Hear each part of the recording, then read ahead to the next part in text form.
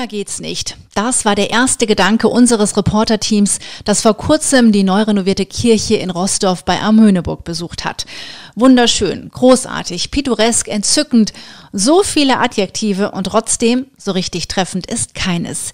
Die Kirche stellen wir Ihnen jetzt vor, aber wir sagen gleich, fahren Sie besser mal hin, um wirklich diesen besonderen Eindruck live zu erleben. Es lohnt sich. Das wussten auch Pfarrer Markus Vogler und sein gesamtes Team, als sie die Renovierung der Wehrkirche beschlossen haben.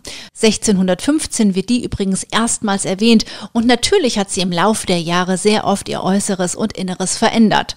2017 war es dann wieder soweit und vor allem notwendig, erinnert sich Pfarrer Vogler. Die Kirche war in den letzten 40 Jahren eben die Wände dunkel, das Gold abgeblasst, manche Figuren beschädigt. Wir haben den Bestand erhalten und letztendlich tatsächlich restauriert. Also der Mensch soll letztendlich in das himmlische Jerusalem hinein mit einbezogen werden. Das ist ja auch eine Architekturidee der Kirchenbauer, dass wir hier bildlich darstellen, einen Vorgeschmack auf das himmlische Jerusalem. Und das ist jetzt sehr gut gelungen, wie ich finde. Man kommt tatsächlich in einen Kirchenraum und betritt eine andere Welt. Diese Beschreibung trifft es ziemlich gut. Die Farben sind einladend und warm. Ein ganz helles Rosé wechselt sich mit einem hellblau ab. Weiße Rahmen geben Kontrast. Es gibt viel Gold, viele Putten, viel Verspieltes.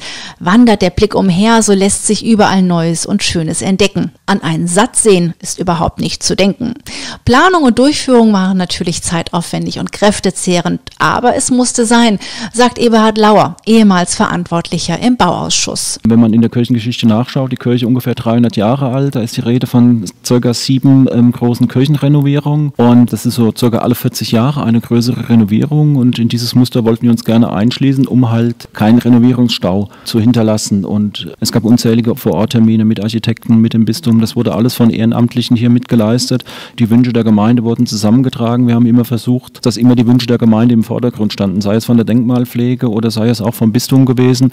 Und das war auch ein Riesenpunkt. Der Charme dieser Marienkirche blieb natürlich erhalten, aber ein paar Neuerungen mussten trotzdem her. Eine moderne Lautsprecheranlage, eine neue Heizung, eine schöne Beleuchtung und ein barrierefreier Zugang, aber auch ganz praktische Dinge, erklärt Pfarrer Vogler. Die Orgel erstrahlt wieder in einem neuen Glanz, ist aufgearbeitet worden auf der Empore. Die Bänke sind eingekürzt worden, damit man besser auch mit Rollatoren dann den Weg von der Kommuneustal wieder zurückfindet. Also das sind alles so verschiedene Elemente, die jetzt berücksichtigt worden sind. Nicht nur zeitlich, auch finanziell war diese Kirchenrenovierung ein Kraftakt, den aber viele gemeinsam gestemmt haben. In den vergangenen Jahren hat eben der Verwaltungsrat geschaut, dass der Kapitalgrundstock aufgebaut wird, der dann letztendlich hierfür verwendet worden ist. Das sind stolze 600.000 Euro. Das Bistum Fulda hat 900.000 Euro dazugegeben und die Landesdenkmalpflege circa 300.000, sodass dann die 1,8 Millionen Euro zusammengekommen sind.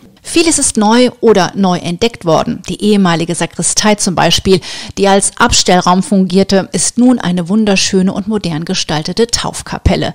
Dort können auch kleine Andachten stattfinden. Eine mobile Bestuhlung soll mehr Möglichkeiten im Kirchraum schaffen, nicht nur Gottesdienste zu feiern, sondern die Kirche als Treffpunkt zu begreifen. An vielen Stellschrauben wurde gedreht und das hat Zeit gekostet. Aber dass es sich gelohnt hat, steht auch für Eberhard Lauer außer Frage.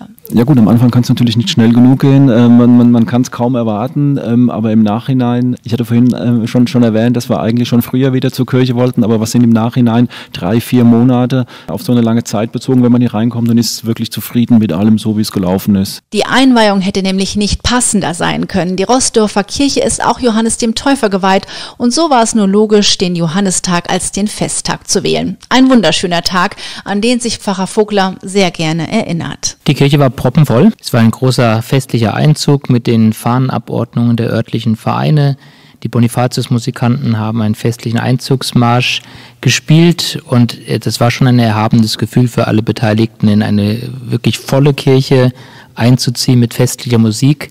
Und die Resonanz war tatsächlich groß. Der Generalvikar hat den Gottesdienst gehalten und äh, auch die Predigt dementsprechend gestaltet. Anschließend wurde vor der Kirche gefeiert mit allen, die beteiligt waren. Es war ein warmer Sommerabend, der bestimmt auch im übertragenen Sinne die Seelen und Herzen der Rossdorfer gewärmt hat.